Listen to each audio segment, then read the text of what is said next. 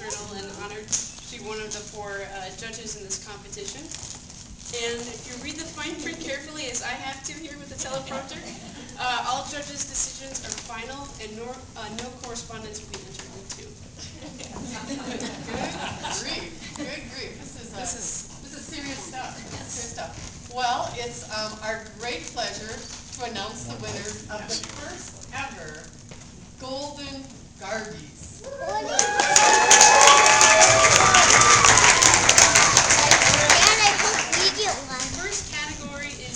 Is honorable mention with a prize of hundred and fifty dollars. Our first winner is, envelope please. Drum roll.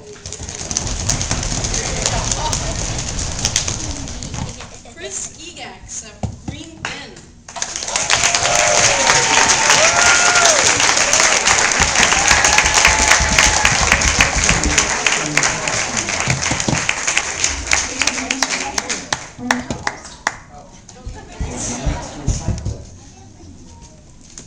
No, that's, uh,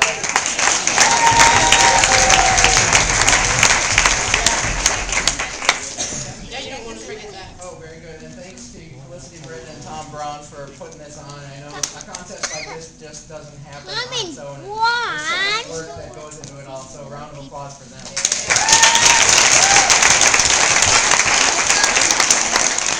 All right. And next is our second winner of the honorable mention category. And the winner goes to, drum roll.